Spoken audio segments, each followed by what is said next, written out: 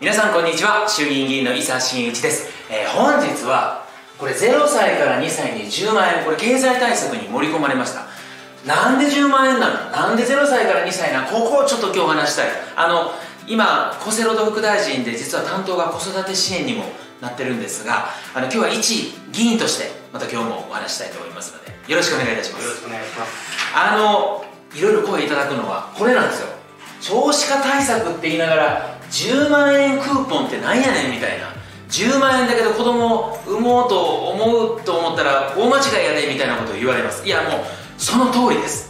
あの我々全然そんな思いはなくってちょっといろいろしっかり説明をさせていただきたいなと思ってましてもちろんこれ大変なのって子育てってそもそもお金だけじゃありません。いろんな支援が必要なんです。その一つの実はきっかけだっていう話を今日したいというふうに思います。あのまずなんで0歳から2歳かっていうと実は0歳から2歳で子育て生まれてすぐすごい大変なんですけどここが支援がかなり薄いんです今。あの3歳以上になるとあの例えば幼児教育無償化。これ所得に関係なく日本全国全ての幼稚園保育園が今無料になってます。でそこから上がって小学校中学校になるとこれは義務教育ですので当然無料と。で学校の教科書も無償化されてます。で高校に上がるとこれも私立高校も含めて今日本全国で実質無償化ということになってます。で大学大学もこれも我々相当力を入れてこの返済の必要のない奨学金給付型の奨学金っていうのを日本で初めて作ってこれをどんどんどんどん今拡大してます。あの授業料減免無料の方々もどんどん増えてます。だから3歳以上は実はいろんなメニューあるんですよ。ところが0歳から2歳が唯一あるのは住民税非課税世帯の、えー、保育の無償化だけなんですね。でそもそも0歳から2歳で保育って言ったって子供預ける人って4割なんです。6割の人は関係ない。でしかも住民税非課税世帯だから相当限られます。だからこの0歳から2歳のところをしっかりと手厚くここがちょっと薄いのであの見ていくべきじゃないかっていうのが今回の0歳から2歳の意味です。でちょっとまあこの図を説明する前にそもそもの今回の意義をちゃんと説明した方がいいと思いますのでまずあのどういう支援をするかっていうと、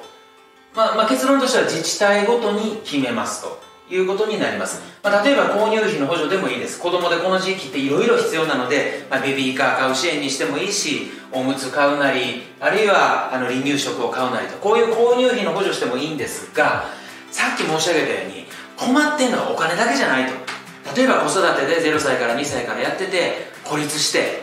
ちょっとだけ誰かに預けたいなとか家事の手伝い誰かちょっとだけしてくれへんかなとかあるいは相談誰か相談に乗ってくれないかとかまあ、こういうような方々に対してこのサービスを提供するのに10万円使っていただいてもいいかなと。いうふうに思ってます。あの、まあ、もちろん現金も自治体が選ぶのであるんですけど大事なポイントは伴走型支援。というふうに言います。だからいろんな相談支援とか家事支援とかこういうサービス。これあの実は今自治体でもどんどん拡大しようとしてるんですよ。あのこの前あの去年通した児童福祉法の改正法案の中で各自治体がそれぞれこのさまざまな子育てのいろんなサービスをこれから増やしていこうとしてます。こういうような支援とこの10万円でできることをパッケージでやっていこうと。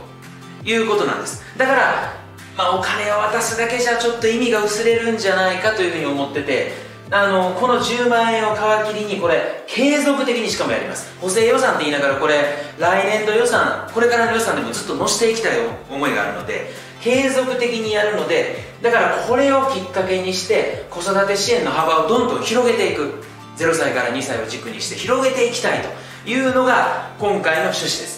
もう一度言いますけど自治体ごとに設計するのでまあ国もしっかりとここはこういうような例がありますよっていうのは示していきたい。というふうに思います。でここ。これ実はこの10万円なんですけど妊娠を届け出た時に5万円出生届を出した時に5万円で合わせて10万円になってます。であのこれねいつか誰が対象かなんですけど補正予算を通した後じゃないと基準日って決めれません。予算通った後。だから基準日以降が対象になります。だそういう意味では令和5年1月1日以降に妊娠届を出して出産届を出したら出生届出したら5万円5万円もらえます。ところが今回はやっぱり令和4年度生まれ全部助けないとここでちょっと分断起こるなっていうので令和4年4月1日まで遡ります。訴求します。でだから令和4年4月1日今年度この4月1日生まれたあの以降に出生あ妊娠届を出した人はここで5万円後でちゃんともらえます。